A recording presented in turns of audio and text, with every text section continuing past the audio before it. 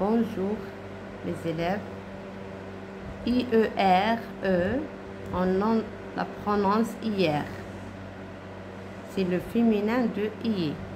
Ouvrière, infirmière, la première, jardinière, la sorcière, pompière,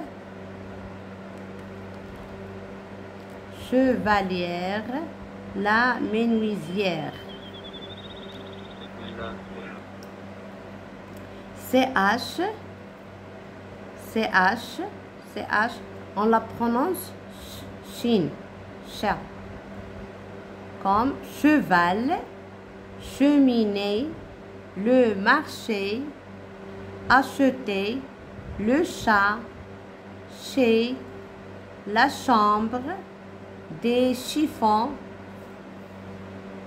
un chemin, chaque, chapeau,